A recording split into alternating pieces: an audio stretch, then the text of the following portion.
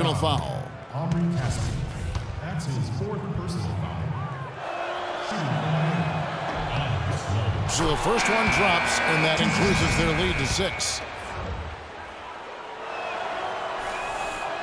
And he cannot convert on the second. That misses.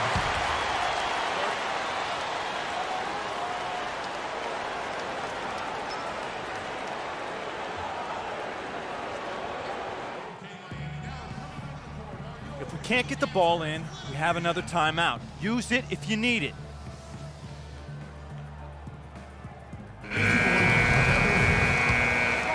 Here's Green. Now the pass to Roten. Bosh dishes to Winslow. Here's Roten.